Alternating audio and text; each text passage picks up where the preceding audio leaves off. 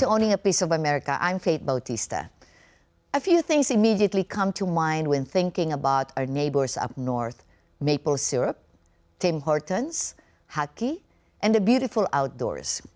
Born and raised in Canada, our next guest shares how he lives out his American dream by embracing the outdoors and bringing others along for the adventure. Here's Krista Kleiner with a story. Hi everyone, it's your girl Krista Kleiner. Canadian migration to the United States has historically fluctuated depending on the economic opportunities available. Growing up in Canada, Tristan Hamm was on a constant mission to pursue what he loved. He started welding at the young age of 14, found his artistic side through trades work, and pursued his passion for the outdoors through traveling and camping in the Canadian wilderness. Canada's opportunities for trades work soon led Tristan down the path of the pipeline construction industry.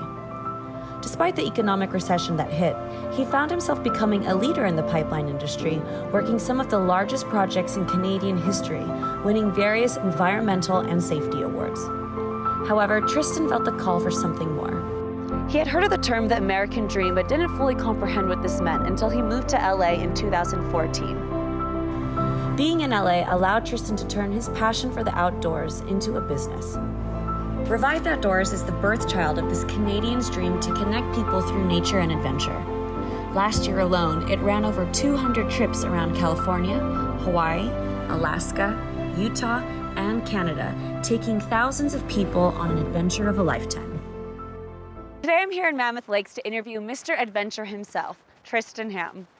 This happens to be one of his favorite locations to take people to, and you can obviously see why. It's extremely peaceful and breathtaking. Let's go see if we can find him.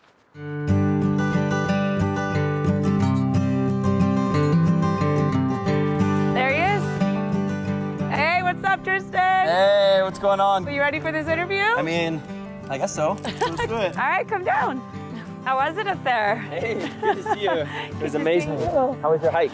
Oh, good. Just a good little workout. Yeah, no doubt. So was this. Yeah, I can only imagine. It's pretty rad to get to call going rock climbing and taking people rock climbing part of your job. I mean, there's no better way to live.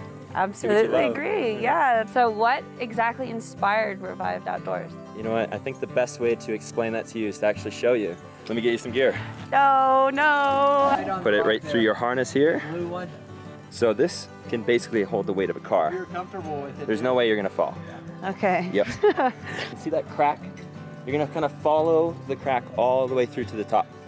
And you're gonna be pushing up in your feet, reaching out with your hands and just looking for any kind of little pockets. Whenever you find a pocket, just grab a good grip, look down, point your toes onto any little pocket for your toes, and mm-hmm. just step up like a ladder. Extremely easy. Sure. No problem.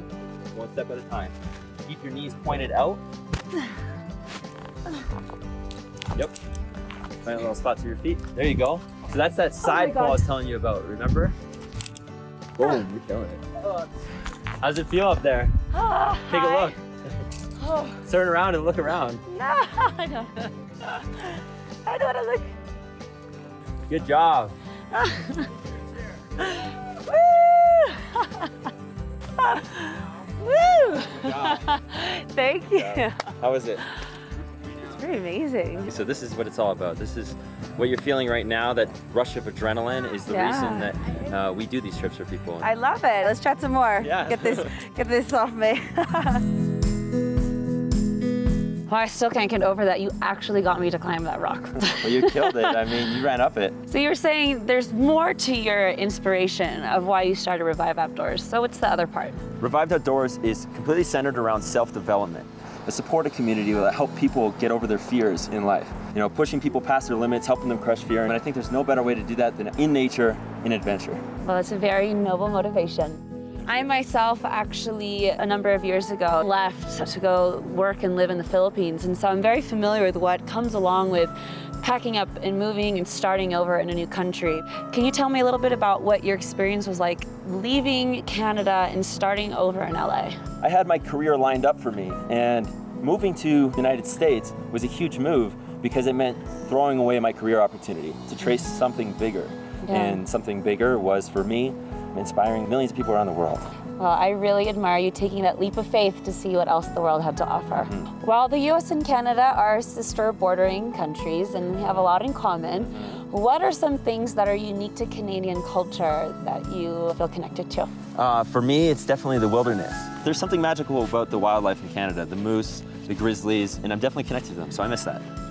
I understand that you incorporate various ways of giving back to the community and environment, hosting free local community events, mm-hmm. environmental cleanups, always making sure you leave everywhere you go cleaner than when you arrived. You mentioned that there was something a little bit more personal to the side of your community outreach, so can you share a bit about that with me? I read a book a long time ago. It's called Releasing the Buddha Within. And it really connected with me.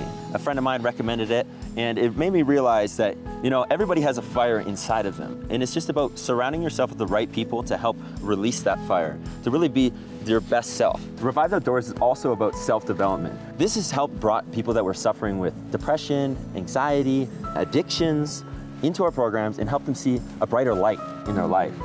Well, that's a very deep way of giving back to the community, especially given the drug abuse and mental health issues that our community faces at the moment. Yes. And I commend you for doing that, despite the complexities that are you. involved. Thank you. You've done a really great job at carving the specific niche for you based upon your passions. What advice do you have for other immigrants that are looking to find their own path Yeah. and create the American dream for themselves? I think that if you're looking to do that, then that means that you have something inside of you trying to tell you to do that. And to anybody that asks that question, I say don't overthink it and just follow your intuition. There's a lot of people in your life that are going to tell you, no, it's going to be too hard. The government is going to say visa is this, that. Don't worry about it. Where there's a will, there's a way. Follow your intuition, follow your heart. I guarantee you that you're going to get to what you want. Thank you so much for sharing your story with us and for taking me on an adventure that I will never forget. it was a really an honor to have you on the show. Well, thanks for coming all the way out here to Mammoth Lakes to experience it. And uh, we're not finished yet. We're going horseback riding. Okay.